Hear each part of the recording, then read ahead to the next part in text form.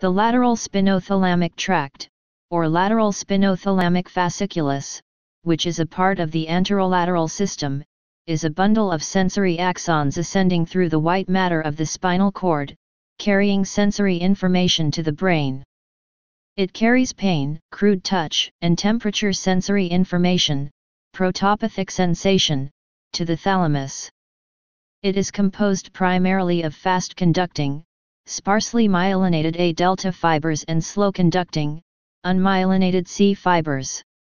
These are secondary sensory neurons which have already synapsed with the primary sensory neurons of the peripheral nervous system in the posterior horn of the spinal cord, one of the three gray columns.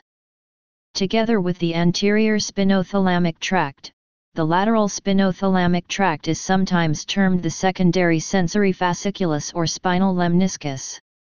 Anatomy The neurons of the lateral spinothalamic tract originate in the spinal ganglia. They project peripheral processes to the tissues in the form of free nerve endings which are sensitive to molecules indicative of cell damage. The central processes enter the spinal cord in an area at the back of the posterior horn known as the posterolateral tract. Here, the processes ascend approximately two levels before synapsing on second-order neurons.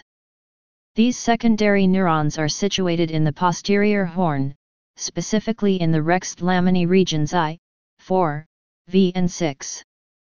Region 2 is primarily composed of Golgi 2 interneurons, which are primarily for the modulation of pain, and largely project to secondary neurons in regions I and V. Secondary neurons from regions I and V decussate across the anterior white commissure and ascend in the, now contralateral, lateral spinothalamic tract.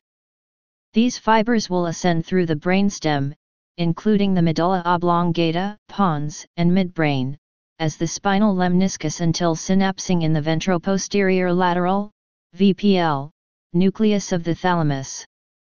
The third-order neurons in the thalamus will then project through the internal capsule and corona radiata to various regions of the cortex, primarily the main somatosensory cortex, Brodmann areas 3, 1, and 2.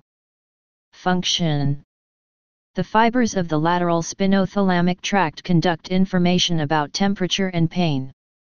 Please subscribe and thanks for watching.